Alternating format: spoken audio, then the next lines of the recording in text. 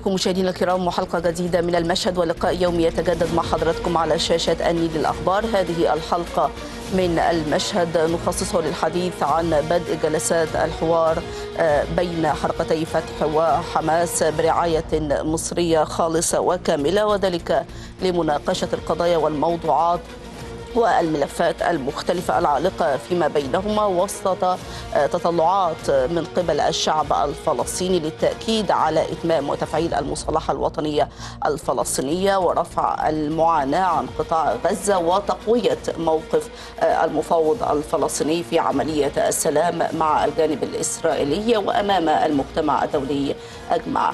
للمزيد من التفاصيل والمتابعة والتحليل حول بدء جلسات الحوار بين فتح وحماس بالقاهرة. يسعدني أن يكون معي ومعكم وعلى الهواء مباشرة في استوديو المشهد الأستاذ شريف سمير مساعد رئيس تحرير الأهرام. مساء الخير يا فندم. مساء النور يا فندم. أهلا بحضرتك.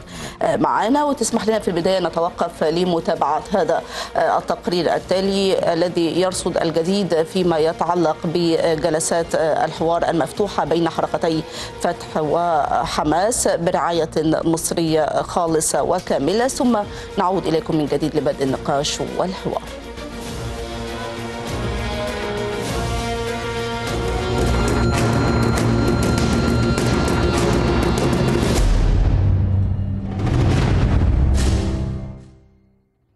استكمالا لدور مصر الرائد في المنطقة العربية انطلقت من القاهرة الجلسة الافتتاحية لعملية المصالحة الفلسطينية بين وفدي حركتي فتح وحماس لبحث القضايا الخلافية بين الجانبين وسط تفاؤل ومطالبات بأهمية توحيد الجبهة الداخلية الفلسطينية وتغليب المصلحة الوطنية وإنهاء الانقسام الفلسطيني. حركة حماس أعلنت أنها شكلت لجانا متعددة لوضع تصورات لتنفيذ ما تم الاتفاق عليه في ملفات المصالحة وهي منسجمة مع ما تم الاتفاق عليه سابقا. كل شيء سوف يطرح في لقاء ثنائي بين حماس وبين فتح بالرعاية المصرية في حوارات القاهرة. على رأسها القضايا الإنسانية المتعلقة بقطاع غزة هذا أمر وطني وإنساني وأخلاقي وملح. قضية الموظفين قضية المعابر كل هذه القضايا والحريات كل هذه القضايا يعني يجب أن تطرح بشكل مسؤول وفي أجواء تصالحية وفي أجواء أيضا تزف البشرات إلى أبناء شعبنا الفلسطيني. أي قضايا عالقة قضايا الأمن أيضا والموظفين ستطرح على مائدة التفاوض. كما أكدت حركة فتح أنها لا مجال للعودة للانقسام. وأكد رئيس وفد فتح عزامي الأحمد أن النقطة الأساسية المتفق عليها في جدول أعمال الجلسة هي مناقشة مسألة تمكين الحكومة في القطاع. وكانت المحاولات المصرية قد أثمرت عن تحقيق تقارب بين الطرفين حيث يتضمن جدول أعمال المجلس مجمل القضايا والملفات المتعلقة بالمصالحة وإجراءات وآليات تنفيذها وفق اتفاق القاهرة 2011 وينص اتفاق القاهرة 2011 على تشكيل حكومة وحدة وطنية والتحضير لانتخابات تشريعية ورئاسية وتشكيل لجان مشتركة لاستيعاب الموظفين الذين وظفتهم حماس في المؤسسات العامة والبالغ عددهم نحو 45 ألف مدني وعسكري. كما يقضي الاتفاق بدمج الأجهزة الأمنية والشرطية في غزة والضفة الغربية بما يضمن وحدتها وتبعيتها لوزارة الداخلية.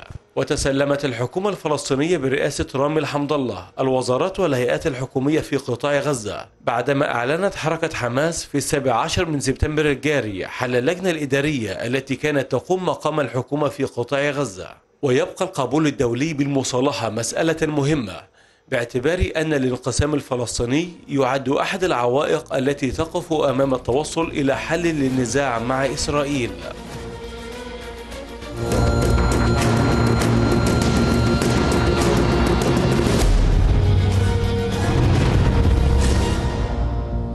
أجدد لكم التحية من جديد مشاهدينا الكرام وأيضا أجدد التحية بضيفي الكريم في استوديو المشهد الأستاذ شريف سمير مساعد رئيس تحرير الأهرام. أستاذ شريف لك التحية من جديد. شكرا. اولا يعني كيف ترى أهمية هذه الخطوة وفتح يعني حوار وتواصل مباشر بين وفدي حركتي فتح وحماس كما ذكرنا برعاية مصرية كاملة وخالصة في القاهرة من أجل إنهاء الانقسام والتاكيد على إتمام المصالحة الوطنية الفلسطينية. بسم الله الرحمن الرحيم. مما لا شك فيه طبعا إن هي خطوة طبعت على التفاؤل وإحنا في انتظارها منذ سنوات مش منذ شهور. لأن الحقيقة آم، شهر العسل كان منتهي تقريبا بين فتح وحماس لفترة طويلة لاختلافات في الأيديولوجية واختلافات في طريقة مواجهة العدو الإسرائيلي. طبعا حماس بتفضل آه، سلاح المقاومة وتفضل آه، بشكل أو بآخر يكون هناك اعتماد آه، شبه كامل على التسلح وعلى تهريب الأسلحة إلى الق- القطاعات المحتلة لمواجهة الاحتلال الإسرائيلي. بينما فتح تشجع حركة التفاوض ومحاولة الوصول إلى تسوية نهائية عن طريق مفاوضات السلام فده طبعا اختلاف الطريق لكل فصيل على حدة هو ده اللي ولد الخلافات واستفاد منها العدو الإسرائيلي. كانت مصر هي دائما حلقة الوصل ومحاولات مصر كانت مستميتة لتذويب هذه الخلافات. صحيح. أعتقد إن هنا يعني ننطلق من جديد نحاول نع- نعيد الأمور إلى نصابها الحقيقي. آه، لكن أول خوف أنها تكون مجرد محاولة للتهدئة وتهدئه هشة تحت أي ضغط وتحت أي خلافات جديدة تطرأ على المشهد تؤدي إلى آه، انهيارها. فعشان كده الموضوع يتطلب يعني ترى أن هناك ربما ثمة تفاؤل حذر من محاولات يعني البعض أو تحديدا حماس في اختراق فكرة المصالحة الوطنية آه طبعا برفضها أكيد. تقديم يعني مجموعة أو بعض من التنازلات آه، يعني الواحد لابد أن يكون حذرا. ما الإسراف في التفاؤل آه، يمكن أن يؤدي إلى نتائج مخيبة للأمال. آه، مع الأسف الشديد التجربة أثبتت أن حركتي حماس وفتح دائما يبدأون البداية الصحيحة لكنهم لا ينتهوا لا ينتهون إلى النهاية الصحيحة أو النهاية المرجوة. لأن كل فصيل بيبحث عن الطريق اللي هو شايف إنه ممكن يوصله لهدفه بغض النظر عن التنسيق مع الفصيل الآخر. وبغض النظر عن مصلحة الشعب الفلسطيني ربما طبعاً. الذي يدفع يعني فاتورة هذا الصراع وهذا. الخلاف وهذا التباعد بين الفصائل الفلسطينية المختلفة. يعني حضرتك وصلتي للنقطة الأهم. الشعب الفلسطيني هو اللي بيدفع الثمن والشعب الفلسطيني هو آه، سواء آه، آلاف بل ملايين الشهداء اللي بيتساقطوا كل يوم في شلال الدم الموجود على الأراضي المحتلة أو آلاف المعتقلين الذين يذوقون كل ألوان العذاب والهوان وعلى رأسهم الرمز مروان البرغوثي. فآن الأوان أن القيادات السياسية سواء في الحركتين فتح وحماس أن هم يدركوا المسؤولية. إن هم يكونوا على درجة من الضمير الوطني ودرجة من الإرادة لتشكيل حكومة وحدة وطنية ومحاولة تسوية القضايا العالقة بين الجانبين ثم الانصراف إلى القضايا الأم لأن القضية الفلسطينية يتم تصفيتها فعلا وصفقة القرن التي تم عقدها مؤخرا أكبر دليل على أن القضية الفلسطينية تحتضر وتموت ولا بد من إنقاذها بأي شكل. طيب كيف ترى الدور المصري في احتواء وفي رعاية وفي استيعاب القضية الفلسطينية وفي محاولة لملمة الشمل من جديد بين فتح وحماس والفصائل الفلسطينية توحيد الصف الفلسطيني من أجل أن يكون هناك صوت واحد وشرعية واحدة وجبهة واحدة تتحدث باسم الفلسطينيين في مجملهم وتناضل أيضا ضد العدوان الصهيوني. كيف ترى الموقف المصري والجهود المصرية ونجاح مصر يعني في إتمام المصالحة الوطنية الفلسطينية في حين فشل الآخرون ربما أو حاولوا أن يعني يستغلوا القضية الفلسطينية من أجل أن يسوقوا أنفسهم وليس من أجل صالح الشعب الفلسطيني. في واقع الأمر السياسة المصرية بتسير في مسارين، المسار الأول مسار تفاوضي وسياسي بحت من خلال دعم مفاوضات السلام ومحاولة الضغط على القيادة الإسرائيلية أو الحكومة الإسرائيلية في الامتثال إلى قرارات الامم المتحدة ومجلس الأمن. محاولة السيطرة على الاتساع والانتشار السرطاني في في للمستوطنات الإسرائيلية في الأرض المحتلة. محاولة الضغط على الولايات المتحدة الأمريكية كقوة عظمى هي المساندة الأولى لإسرائيل وللطموحات وللأطماع الإسرائيلية مع الأسف الشديد لالتهام المنطقة وليس الأرض المحتلة الفلسطينية فقط. فمصر بتلعب دور الوسيط بتحاول بقدر الإمكان على مدار سنوات طويلة إنها تكون وسيط محايد ونزيه ويحاول أن يحقق الأمن والاستقرار في الأراضي المحتلة. والمسار الآخر مسار تخفيف معاناة قطاع غزة لأن قطاع غزة الحقيقة مع الأسف الشديد بقى قطاع مهدد دائما بالدمار والحرمان من كل النواحي الإنسانية سواء في عدم توفير المؤن والغذاء وأصبح هناك أيضا مسألة الأنفاق السيطرة على الأنفاق لعدم تهريب المسلحين أو بعض الخلايا التي قد آه، آه، تتورط في بعض العمليات الايه المسلحة ضد العدو الإسرائيلي بما يهدد مستقبل عملية السلام. فأعتقد إن. آه، دايما مصر دايما واعية لدورها بأنها بتحاول بقدر الإمكان تكون حلقه يعني رمانة ميزان بين الفلسطينيين والإسرائيليين. لكن ما يعطل السياسة المصرية هو الخلافات التي دائما تظهر وتلوح دائما في الأفق بين الفلسطينيين وبعضهم البعض. صحيح. بين حركتي فتح وحماس. هو دوت اللي بيأخر المصالحة وبيؤخر الدور والوساطة المصرية. طيب تحدثت في كلماتك عن المعاناة ربما ال- الحياتية أو المعاشية لأهالينا في قطاع غزة. يعني كما نعلم جميعا أن ال- الكهرباء على مدار اليوم. آه، يعني منقطعة وأربع ساعات فقط. يعني هي مدة آه، ال- الكهرباء أو الإنارة في قطاع غزة. هناك مشكلة وإشكالية كبيرة في آه، تنقية وتحلية آه، المياه للشرب الكثير والعديد من الأزمات الحياتية المختلفة اللي بيعاني منها أهالينا في آه، قطاع آه، غزة. ربما أيضا هناك تقرير أخير صادر من قبل الأمم المتحدة بأن غزة بحلول 2020 ربما يكون هذا القطاع غير صالح للعيش أو السكن فيه بسبب يعني التدمير شبه الكامل للبنية التحتية ومقومات آه، الحياة. يعني إلى أي مدى هذا في المقابل يعني يضع مسؤولية كبيرة على الفصائل الفلسطينية في ال- المقام الأول من أن يعني تستيقظ من أي غفلة ربما تصاب بها من أجل إنقاذ آه، الشعب آه، في قطاع غزة تحديدا الذي يعاني الكثير والكثير من الأزمات. هو كان من المفترض مع الفصائل الفلسطينية أنهم الفصائل الفلسطينية أن هم يستيقظوا آه، منذ وقت طويل. لأن القطاع ال- ال- الحقيقة في غرفة الإنعاش بقاله أكثر من ست سبع سنوات وخصوصا بعد ما تولت حكومة حماس السيطرة على قطاع غزة. وهو ده السبب اللي بيحاولوا من خلاله دلوقتي يناشدوا أن يكون هناك انتخابات تشريعية ورئاسية. لعل وعسى أن ده يخفف شوية من وطأة ال- ال- المعاناة والأوضاع الإنسانية المتدهورة في القطاع. لكن أنا تصوري الشخصي أن لابد أن يكون هناك آه، اتفاق عربي موحد على دعم قطاع غزة آه، غزة بالمؤن والمواد الغذائية والإنسانية والبضائع محاولة تمويل هذا القطاع ومحاولة ضخ الأموال الخليجية بالمساعدة المصرية في أن هيقوم هذا القطاع على قدميه من جديد. لا. يتوقف على قديم. التمويل هو مربط الفرس. لأن بناء هذا القطاع وتخفيف معاناة الفلسطينيين هو دوت اللي ممكن يوفر الحصانة لأي مصالحة بين الجانبين. لأن الفلسطينيين هم اللي بيعانوا وهم اللي بيدفعوا صحيح. وبيسددوا الفاتورة زي ما حضرتك أشرت في بداية الحديث.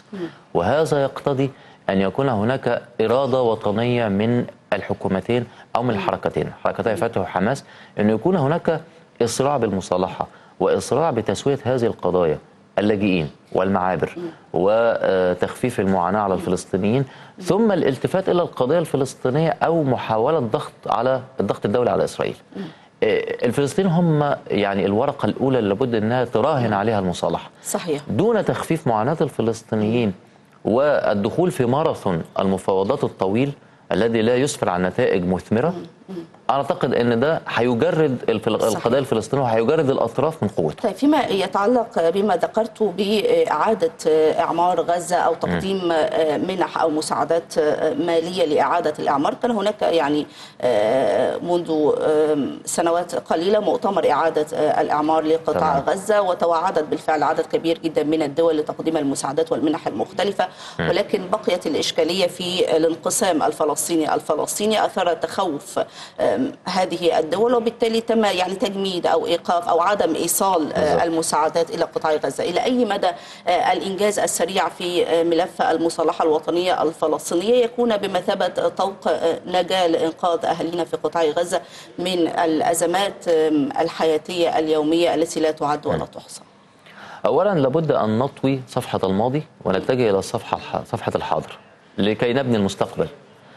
فبناء الحاضر يقتضي أن يكون هناك إسراع في انتخابات تشريعية ورئاسية في قطاع وإزاي يكون نبدأ من أول وجديد نقطة من أول السطر ونحاول بقدر الإمكان ترتيب وإعادة ترتيب الأوراق مرة أخرى.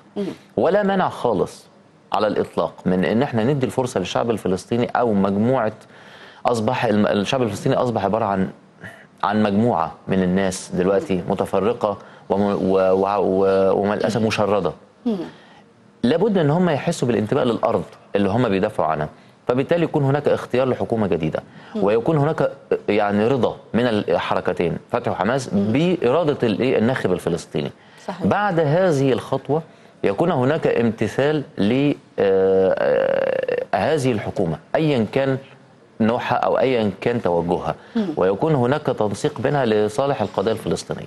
تمام. ثم الترتيب. وإعادة التنسيق مع الدول المانحة لإعادة ضخ الأموال بقوة في شرايين قطاع غزة لبناء القطاع من جديد وتخفيف المعاناة عن الشعب الفلسطيني تمام. هذه هي الخطوة المهمة الخطوة الأخيرة بعد يكون تنحية الخلافات جانبا ورفع المعاناة عن الفلسطينيين وحل مشكلة الموظفين في الحكومة الفلسطينية اللي ما يتقاضوش رواتبهم لحد هذه اللحظة. هنا بقى نبدأ نلتفت طيب إلى يعني سنعود لهذه الجزئية وإشكالية الموظفين في قطاع غزة وكيف يمكن التعامل مع هذه الإشكالية بحلول عملية على أرض الواقع. معنا الآن مداخلة ومشاركة هاتفية من الأستاذ عبد المهدي مطاوع المحلل السياسي الفلسطيني. سيد مطاوع دكتور مطاوع بعد التحية في أي سياق وفي أي إطار تضع بدء جلسات الحوار بين حركتي فتح وحماس في القاهرة وما هي الخطوات القادمة في رأيك؟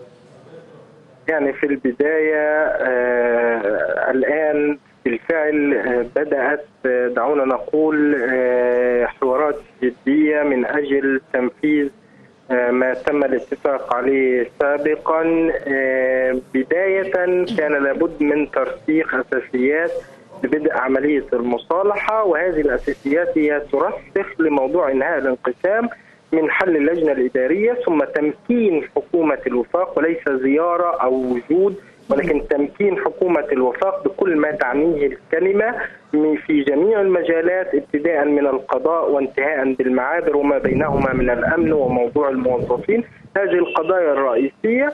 في النهاية ستؤدي إلى حوار جدي وحقيقي في الرؤى وتوفيق ومحاولة الالتقاء في الرؤى السياسية بما يضمن أن يكون هناك برنامجا وهو برنامج منظمة التحرير المتفق عليه خصوصا أن حماس في إعلان وثيقتها السياسية في بداية هذا العام اقتربت بشكل كبير أو تكاد تكون بنفس الطريقة إلى برنامج منظمة التحرير. إذا لا يوجد الآن حاليا أي خلاف بالمفهوم السياسي بما يتعلق بمنظمة التحرير. نعم. هذا أمر. الأمر الآخر هو التأسيس والاتفاق على آليات الانتخابات بما تجدد الشرعيات بما يتعلق بالسلطة والرئاسة والمجلس التشريعي وأيضا المجلس الوطني. الذي سيتيح للشعب الفلسطيني أن يحدد خياراته صحيح.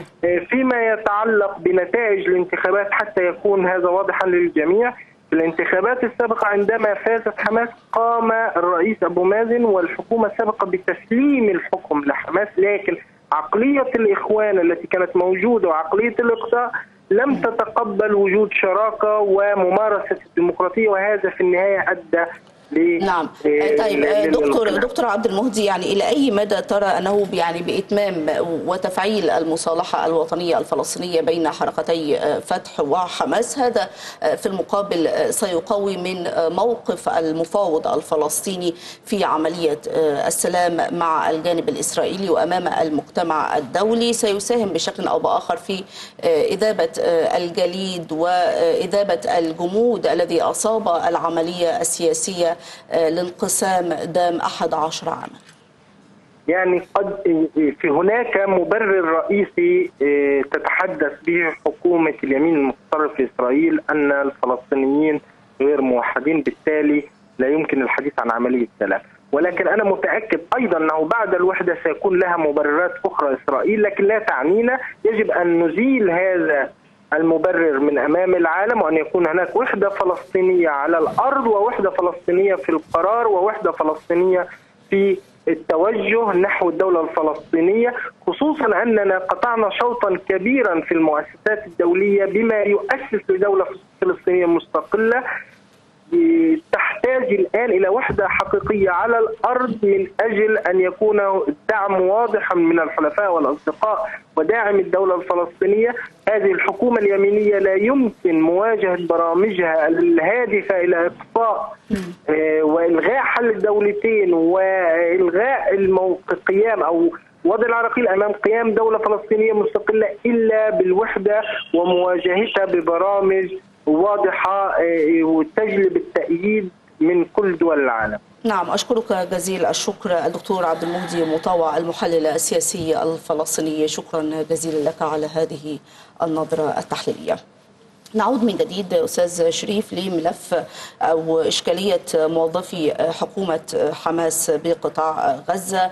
طبعا تم تعيين عدد كبير جدا من الموظفين منذ عام 2007 ومنذ السيطرة الحمسويه على قطاع غزة. أيضا إشكالية المؤسسات الإدارية والهيئات الإدارية المختلفة الحمسويه من الموضوعات أو الملفات العالقة بين حركتي فتح وحماس. كيف ترى هذه الإشكالية؟ الإشكالية وإمكانية التعاطي والتعامل معها وهل من حلول أو من آليات ملموسة على أرض الواقع للتعامل مع إشكالية موظفي قطاع غزة؟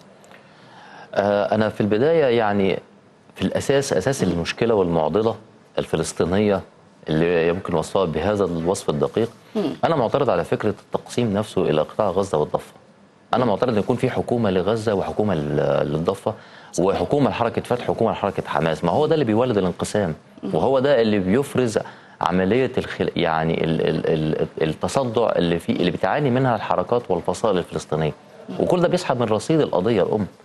لكن لو كان في اتفاق على إن يكون هناك حكومة وحدة وطنية واحدة ويكون هناك استيعاب للموظفين التابعين لحماس والموظفين التابعين لفتح تحت راية واحدة هو دوت اللي هيوفر الوحدة وهيوفر الاستقرار وهيقضي على رواسب الماضي مم. نحن الآن القضية الفلسطينية أسيرة ليس للاحتلال. الإسرائيلي فقط أسيرة لرواسب الماضي وميراث من الخلافات بين الفصائل الفلسطينية المتناحرة لابد أن يكون هناك سيطرة على هذه النقطة. رفض تام لفكرة ما حدث أن الشعب الفلسطيني انقسم على ذاته لأن فقد الأمل وفقد الثقة في أنه ممكن يحصل على حقوقه بالتفاوض فابتدى يلجأ إلى سلاح المقاومة. من هم الكفيلون من هم الكفيلون بالس... بال... بال... بال... بامتلاك سلاح المقاومة؟ وما يروج لها حركات وقيادات حماس سواء في قطر سواء في الدول الأخرى سواء من خلال بعض التنظيمات الموالية لحماس زي على رأسها جماعة الإخوان المسلمين. صحيح صح. فمش هو ده مربط الفرس إن كي إزاي نحل مشكلة أو يبقى في آلية لاستيعاب موظفين حماس؟ لأ لابد أن تنتهي هذه المهزلة من وجهة نظري أن يكون هناك حكومة في قطاع وحكومة في القطاع الآخر. صحيح.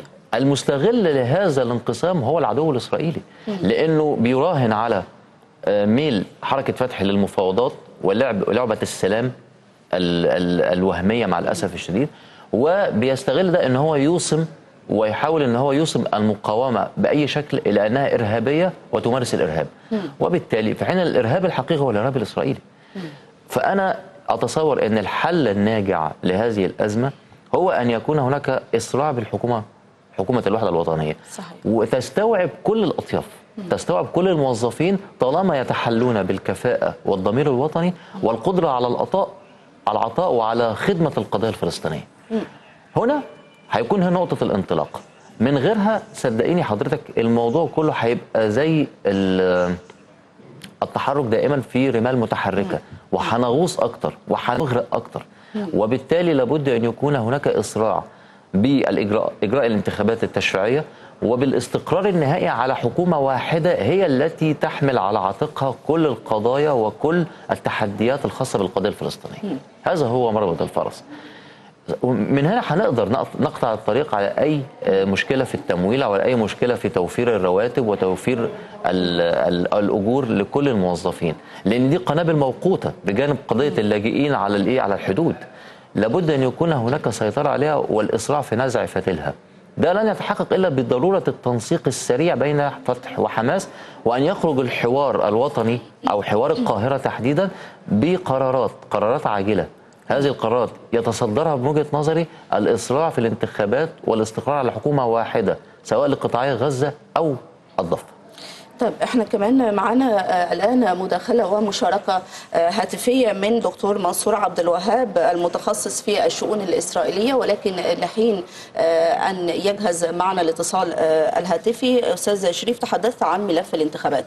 آه، الانتخابات في كل الأحوال حق دستوري لكل مواطن فلسطيني لا يجب مصادرة هذا الحق الأصيل له. أهمية ترسيخ ال- الفكرة ال- الديمقراطيه ومن يختاره؟ الشعب الفلسطيني فليتفضل لإمساك يعني زمام الأمور والمسؤولية في آه، فلسطين والتأكيد على أهمية إجراء آه، الانتخابات تابعنا انتخابات 96 و- والانتخابات 2006 ومن بعدها تم تجميد أي يعني فكرة ديمقراطية آه، يتم ترسيخها في ال- العمل آه، السياسي الفلسطيني. كيف ترى هذه الجزئية؟ والتأكيد على أن آه، الانتخابات في كل الأحوال يكون وفقا لمرجعيه أوسلو في المقام الأول. آه، أي انتخابات في أي مكان في العالم مش بس في بعض الدول ال- المشتعلة زي فلسطين وسوريا ومن هم على شاكلتهما بتعتمد في القائم الأول على مطالب الناخب. السؤال اللي لابد أن إحنا نجيب عنه ما هي مطالب الناخب الفلسطيني؟ وهي مطالب بسيطة جدا مقارنة بأي ناخب في العالم. الأمن. صحيح. آه، الحياة الكريمة عدم التهديد. المأوى. كل دي حاجات إن وفرتها أي حكومة أو أي مرشح أي مرشح فلسطيني هنا يكون هناك لابد أن ينال الثقة ويصبح هو في موقع المسؤولية. حماس قادرة على توفير ذلك وفتح قادرة على توفير ذلك. وبالتالي الكرة تترك في ملعب الإيه ناخب الفلسطيني بدون أي ضغوط أو بدون أي تلاعب بالأصوات أو أي نوع من أنواع الضغوط على الإيه؟ النخب الفلسطيني يضع مصلحته في المقام الأول. فعشان كده المسألة برهن بإنك أنت تحدد ميعاد لهذا الإيه؟ الإجراء الانتخابي السريع. ميعاد انتخابات. ويبدأ هناك اللجوء إلى صناديق الاقتراع. وتمارس الايه عمليات ديمقراطية لكي يشعر العالم كله أن فلسطين بصدد تكوين دولتها المستقلة. صحيح. وده ده من شأنه إن هو يقدر يحرج العدو الإسرائيلي. هذا الخطوة الأولى. الخطوة الثانية لابد أن تكون محددة بأن كل فصيل يعلن برامجه.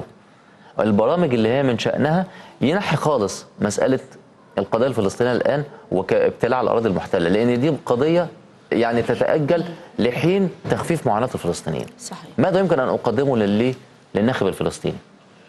من فرص عيش كريم من توفير ال- فرص الحياة أو التخفيف المعاناة أو إنك فرص التعليم أو فرص أي حاجة توفر له أو توفر له الإحساس بالأمان أن هو يعيش في دولة ولا يعيش على الحدود مشرد كما هو الوضع الآن. صحيح. والخطوة الثالثة نتائج الانتخابات لابد أن تتم بشفافية وتحت رقابة دولية وبوساطة مصرية لضمان نزاهتها. النتائج تحترم في النهاية أيا كان الاختيار. لو تم الاختيار وكانت ال- ال- الكحكة من نصيب حماس يحترم ذلك. على أن على أن تلتزم حماس بمسار التهدئة ومسار يخدم القضية الفلسطينية. صحيح. إن كانت الايه النتائج من نصيب فتح إذا يكون هناك تنسيق بين الجانبين. إن الكل يلعب من أجل القضية الفلسطينية. عشان نضمن نزاهة القضية الفل... يعني نزاهة الانتخابات ده هيتوقف على مسألة مهمة جدا. كيفية إجراءها. وآليات الإجراء. هل ستتم في غزة ولا الضفة؟ ولا تتم في أرض محايدة ضمانا لعدم وقوع مشاكل أو الجهات أزمات؟ المشرفة أيضا على مسار المشرفة. الانتخابات. وأنا آه، لابد أن يكون هناك تدخل من الأمم المتحدة ومجلس الأمن وجماعة الدول العربية والرعاية المصرية لأن الرعاية المصرية هي أصدق رعاية للقضية الفلسطينية ثم بعد النتائج لابد أن يكون إسراع بالدول المانحة أنها تبدأ تنسق مع أجهزة الدولة الفلسطينية اللي هيتم تشكيلها. إزاي نقدر إيه؟ نوفر لكم المال ونوفر لكم التمويل اللازم لبناء قطاع غزة وإعادة الإعمار من جديد.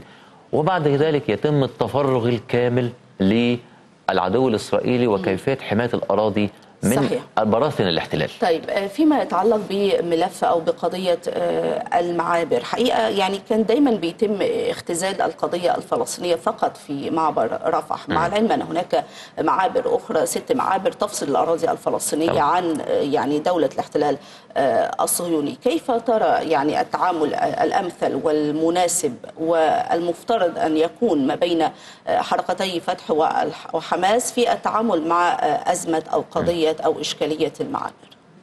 اولا الأمانة بين الطرفين إن كل طرف يلتزم بالقواعد ويلتزم بالاتفاق بينهم على أن ألا يكون هناك اختراق للمعابر أو تبقى تتحول آه، حصان طروادة لتقديم الأسلحة وتهريب ما يمكن آه، تهريب المسلحين اللي ممكن يهددوا الأراضي المحتلة أو ممكن يهددوا أمن الفلسطينيين.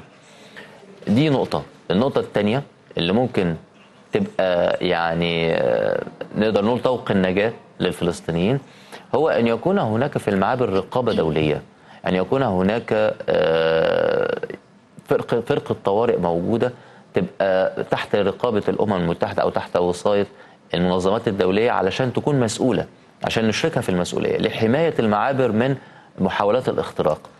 وده طبعا نجح فيه القوات المسلحة المصرية بدرجة كبيرة في الآونة الأخيرة إنها قدرت آه، تسيطر على الأنفاق اللي هي كانت وسيلة لتهريب صحيح. يعني تهريب كل أنواع التهريب. بما يسيء القضية الفلسطينية ويجردها من نبلها مع الأسف الشديد. فأنا أط... يعني اللي أنا أتصوره إن أنت في الفترة المقبلة مطالب من الفلسطينيين إن يكون هناك رقابة دولية ورقابة من الفلسطينيين نفسهم رقابة وطنية على المنافذ.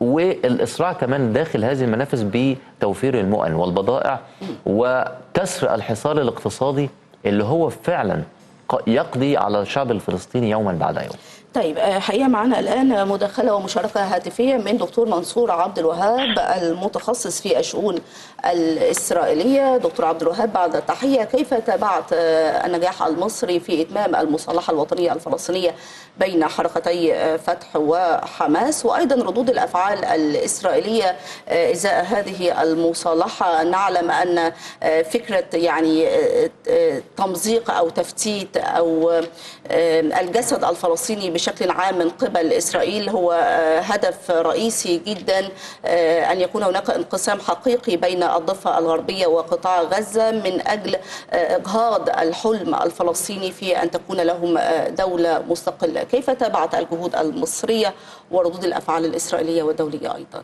بداية تحياتي لحضرتك والضيف الكريم وللسادة المشاهدين. أعتقد أنه الجهود المصرية تقوم على أساس أن القضية الفلسطينية تمثل بالنسبة لمصر نقطة أمن قومي مهمة جدا ومن ناحية أخرى مصر ليست وسيط بين طرفين أو ثلاثة أطراف لكنها شريك نزيه يسعى لصالح الشعب الفلسطيني ويسعى إلى جعل الشعب الفلسطيني بقيادته يواجه الصلف والتعنت الإسرائيلي الذي يتمثل في الانتهاكات من ناحية ويتمثل في الحصار الشعب الفلسطيني من ناحية أخرى. الجهود المصرية جهود حثيثة وأنا اعتقد انه الساده المشاهدين والشعب ما بيشوفش إيه اللي بيحصل على مائدة المفاوضات واعتقد انه حل المسألة بين فتح وحماس في تفاصيل دقيقة كثيرة جدا محتاجة آه، جهد كبير لكن هذا الجهد آه، يسهله شوية وجود آه، نية سياسية صادقة من قبل سواء فتح أو حماس للوصول إلى توافق وتفاهم حول الملفات الشائكة وأولها ملف السلاح الموجود في الشارع الفلسطيني في غزة ملف الإداري الملف الاقتصادي ملف الانتخابات وما إلى ذلك. كل هذا مطروح على مائده المفاوضات وأنا أعتقد إنه مصر آه، بتبذل اليوم آه، الجولة الأولى بين فتح وحماس وأعتقد بعد 20 يوم سيكون هناك جولة أخرى مع جميع الفصائل الفلسطينية. لأن لا ننسى إن إذا كانت حماس هي أكبر فصيل فلسطيني موجود في غزة هناك فصائل فلسطينية أخرى ممكن أن تعكر صفو ما يحدث الآن أو آه، أي اتفاقات ممكن التوصل إليها. الحكمة بتقول إنه آه، بعد ما نخلص مع فتح وحماس ونصل إلى تفاهمات بخصوص الملفات كلها نبدأ أو على الأقل الملفات الحرجة التي يجب أن نصل لحل فوري ليها مثل حال مثل طيب حال دكتور عبد الوهاب فيما يتعلق بالملفات الحرجة أو الملفات الخطيرة في ملف ال- يعني المصالحة الوطنية الفلسطينية نعلم أن القوى العسكرية أو ربما الأجهزة الاستخباراتية التابعة أو المساندة أو الداعمة لحماس آه، يعني من الإشكاليات ال- الأبرز أو الأهم في ملف المصالحة الوطنية الفلسطينية تمام. آه، من واقع آه، مشاهداتك وتحليلك للأجواء العامة للمصالحه الوطنية الفلسطينية هل ترى أن هناك يعني آه، ثمة يعني آه، تفاؤل ربما للخروج من هذه الإشكالية وتنظيم الصفوف فيما يتعلق بالقوى العسكرية والميليشيات المسلحة التابعة لحركة حماس؟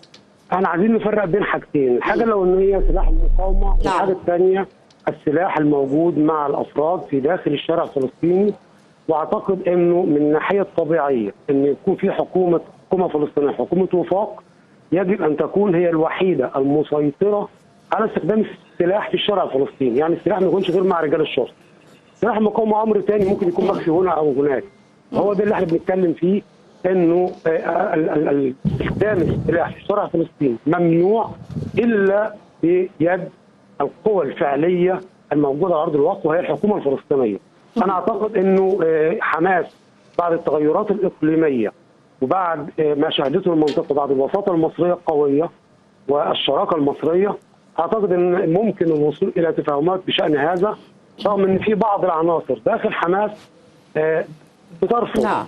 فكرة تسليم السلاح لكن آه، أعتقد ممكن نوصل أنا شخصيا بالتدخل المصري في هذا الأمر والرقابة المصرية على التنفيذ أمر مهم ممكن نصل إلى حل إن شاء الله في القريب العاجل أشكرك جزيل الشكر دكتور منصور عبد الوهاب الخبير في الشؤون الإسرائيلية. شكرا جزيلا لك على هذه النظرة التحليلية. أستاذ شريف يعني ونحن نشهد جلسات الحوار بين فتح وحماس برعاية مصر. هذه الجلسات بتتزامن مع مرور 100 عام على وعد بلفور المشؤوم 100 عام على الخطيئة 100 عام على وعد من لا يملك يعني آه، لمن لا يستحق. وعد بريطانيا بإنشاء وطن قومي يهودي في آه، فلسطين.